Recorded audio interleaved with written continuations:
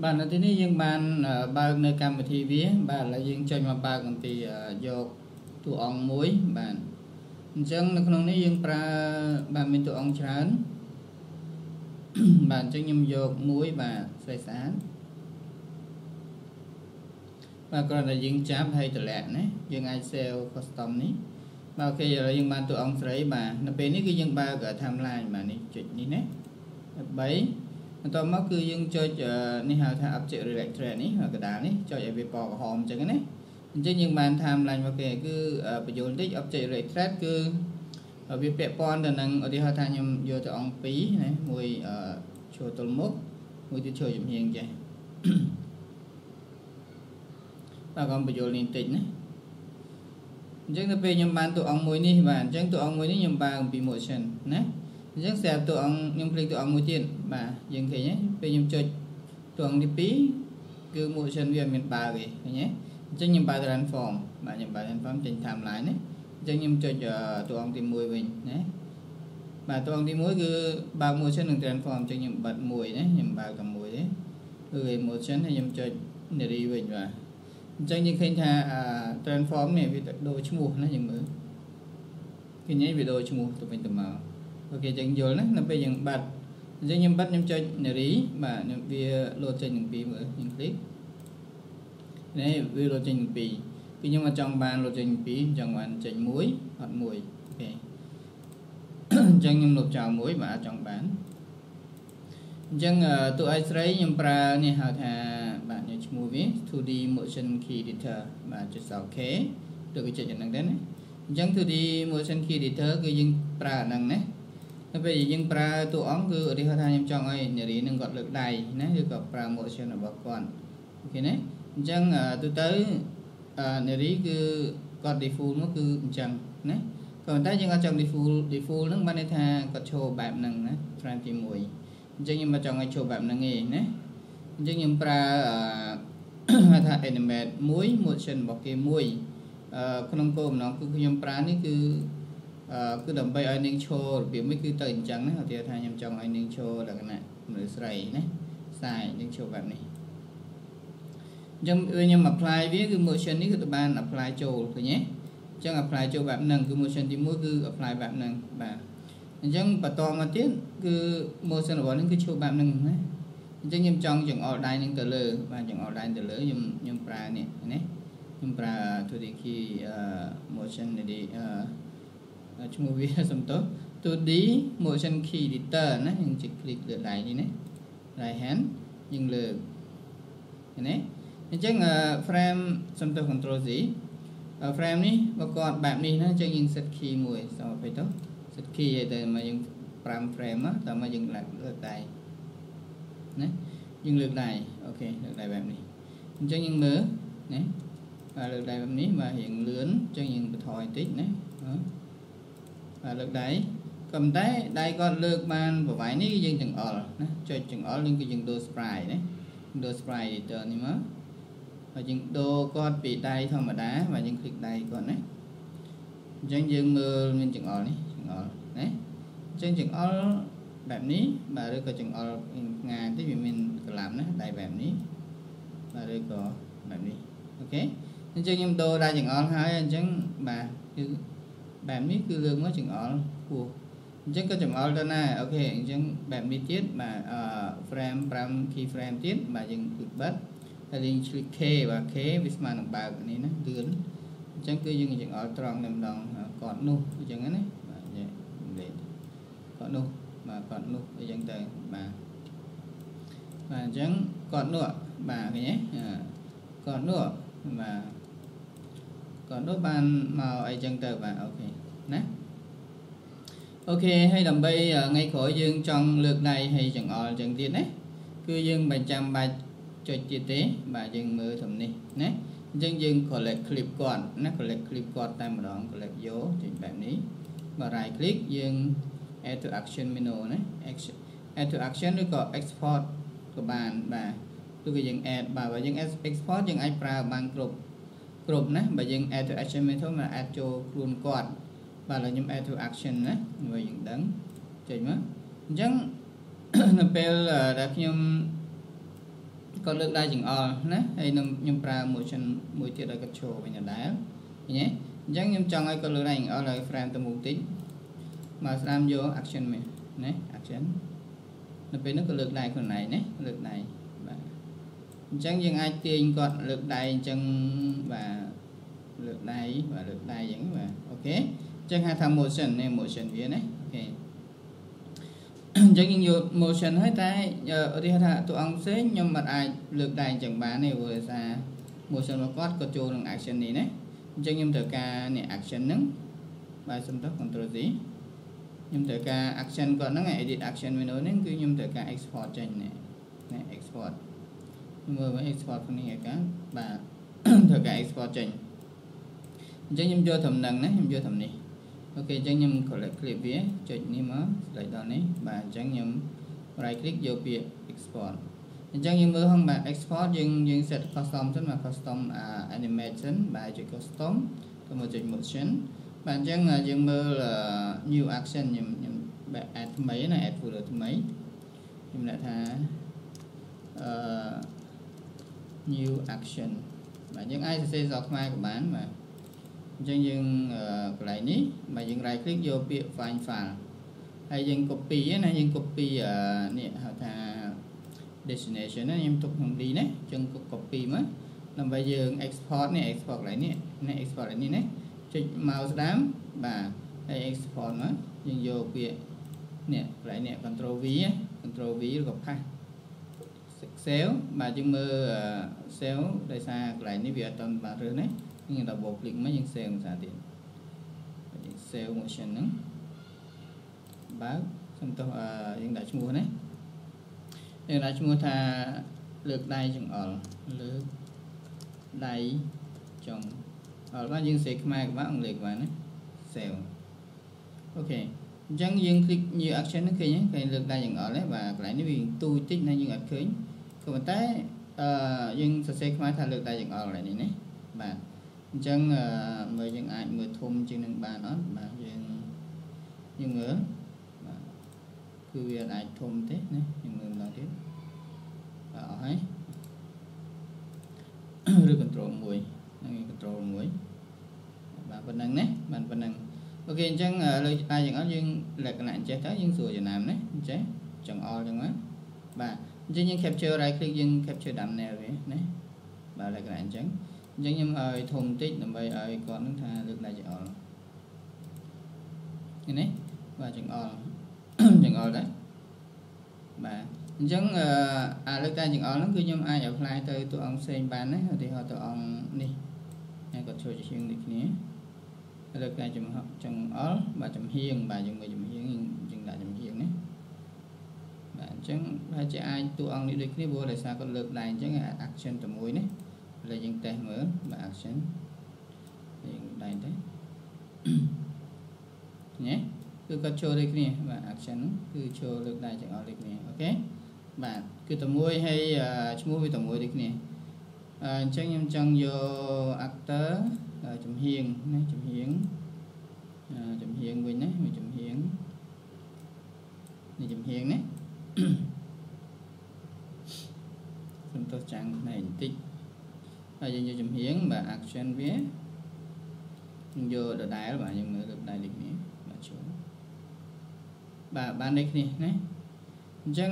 មិនថាសកម្មភាពឆ្វេងឬក៏យ៉ាងណាទេគឺយើងអាចប្រើបានដូចគ្នាបាទ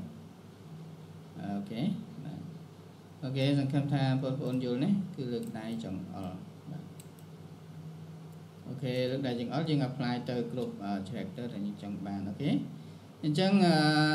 សង្ឃឹមថាបងប្អូនអាចយល់នៅក្នុងមេរៀននេះណាអញ្ចឹងគ្រាន់តែម៉ោងចុងម៉ោងបាទចុងម៉ោងគឺយើងលេងតិចទៅយើងលេងខ្ញុំ click no ណា click no ដោយសារយើងមាន action ហើយអញ្ចឹងយើងអាច add បន្ថែមដូចជា action ផ្សេងផ្សេងអ្នករិះគាត់នេះបាទសំទោសនេះ free អឺខ្ញុំអត់យល់ដែរបាទទិញហើយតែវា load មក free ណាអញ្ចឹងអត់បញ្ហាចាំមើលខ្ញុំទៅ check មើលណាអូខេអញ្ចឹងតួអង្គនេះអញ្ចឹងយើងកុំភ្លេចបើក timeline ណា fail to load បាទម្ដងទៀតបាទ fail to load អត់ទាន់ដឹងទេមូលហេតុអីហើយជួយខ្ញុំតាក់ទងក្រុមហ៊ុនគេណាព្រោះបញ្ហា error អូខេ host ខ្ញុំមើលផ្សេងបាទមានតួអង្គច្រើនណាមានមានតែមួយហ្នឹងបាទខ្ញុំមើលសំទោសខ្ញុំនិយាយណាអាចប្រើបានណាបានអូខេទៅ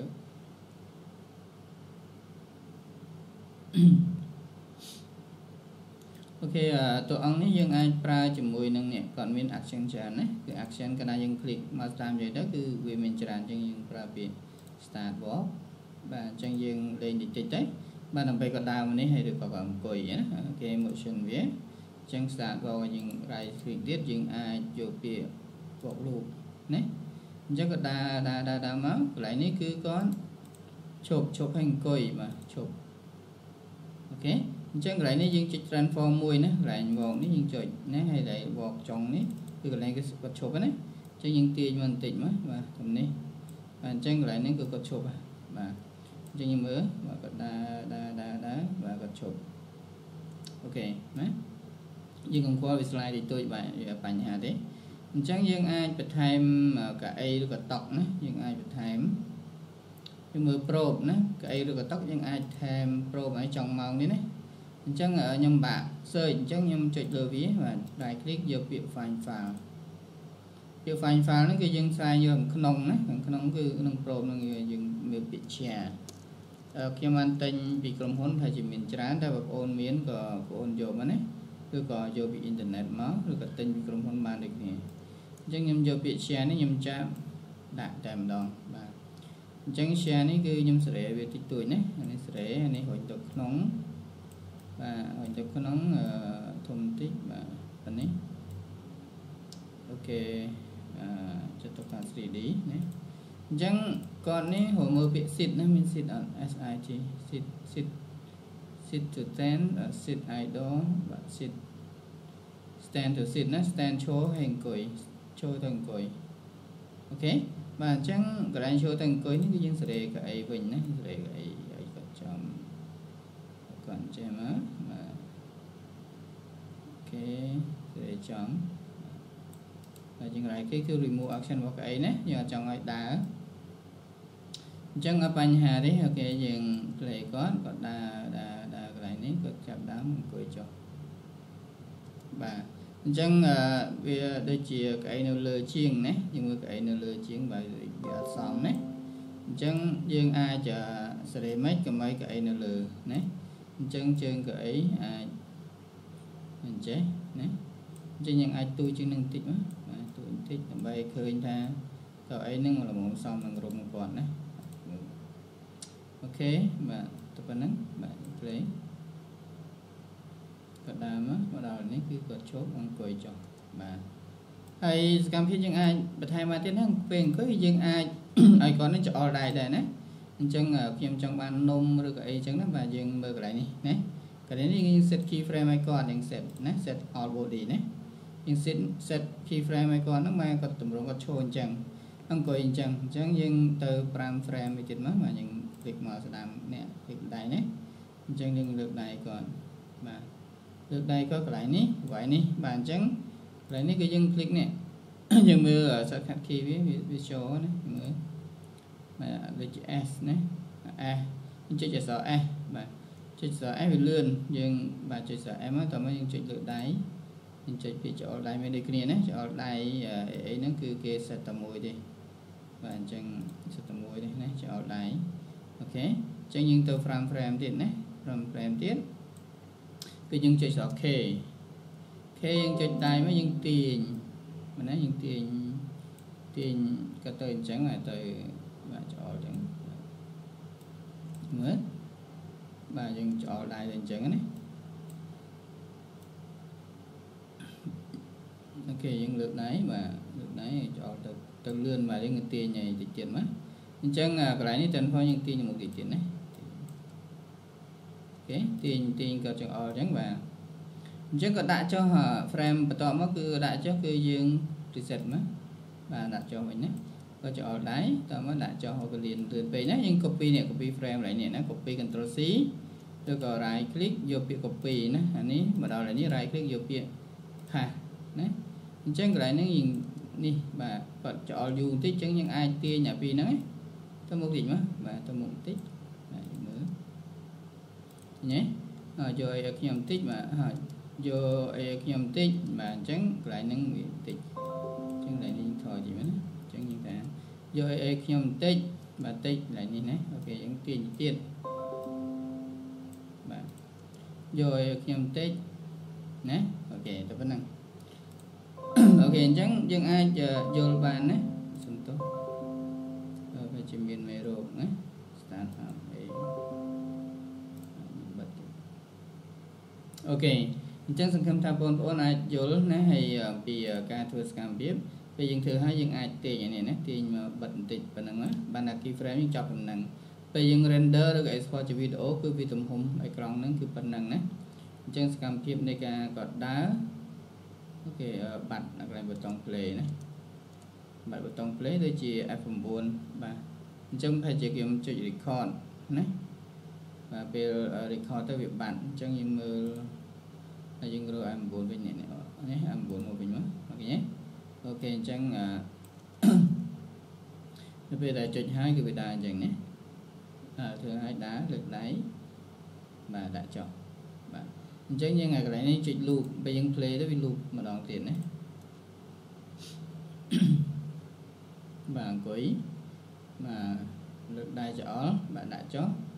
បាទឲ្យលេងភាសាទៀតបាទអញ្ចឹងអឺក៏អរគុណបងប្អូនបាទអរគុណបងប្អូនបាទចម្រើនបាទខ្ញុំអត់ចាំជួបណាសំទោសអូនចម្រើនណាអញ្ចឹងសង្ឃឹមថានេះជួយនៅបងអូន បាទដើម្បីក្នុងការធ្វើចលនាលើកដៃណាច្អល់ទៅមុខ ណាបាទច្អល់ណាអញ្ចឹងគឺអាចធ្វើបានច្រើនណាហើយហើយខ្ញុំបានសិក្សាឬក៏បានមើលទៅក្នុងវីដេអូរបស់កម្មវិធីផ្សេងផ្សេងណាដូចជា Dotly Tunly ឬអីហ្នឹងគឺលក្ខណៈពិសេសវាផ្សេងផ្សេងគ្នាក៏ប៉ុន្តែយើងអាចយកកាតុក្កតានេះណាយើងមានចលនាគ្រប់ទាំងមាត់ទាំងអីទាំងអស់ណាយើងអាចយកទៅនិទានរឿងឬក៏ប្រើជាមួយដុតលីទុនលីហើយចេញជាចលនាបានគឺ គឺពិសេសគឺយើងនិយាយចំទៅយើងចេះចេះ cartoon metaphor នឹងមួយគឺយើងអាចយកទៅធ្វើតុក្កតាអីផ្សេងផ្សេងបានច្រើនណាមិនតែតុក្កតានៅក្នុង cartoon metaphor នឹងមួយឯងគឺយើងអាចយកទៅធ្វើតួអង្គផ្សេងផ្សេងដាក់ចូលណាដាក់ចូលទៅកម្មវិធី Tonly ឬក៏ Dotly ជា file GIF ណា GIF file ឬក៏ file PNG file ហ្នឹងយើងអាចជាធ្វើមួយមួយណាដូចជាខ្ញុំធ្វើ COVID ក៏អីអញ្ចឹងបាទ គឺយកពី cartoon metaphor នេះបាទហើយយើងឆ្នៃវាតិចតិចណាធ្វើបានហើយក៏យើងអាចធ្វើបាននៅក្នុង cartoon metaphor ដូចគ្នាបាទ option វាច្រើនអញ្ចឹងសង្ឃឹមថាបងប្អូនចេះណាហើយកុំប្រឹងរៀនបាទគង់តែចេះដូចខ្ញុំទេបាទអញ្ចឹងអរគុណខ្ញុំបានបារាំងសូមជម្រាបលាបាទសូមអរគុណបាទបាយបាយ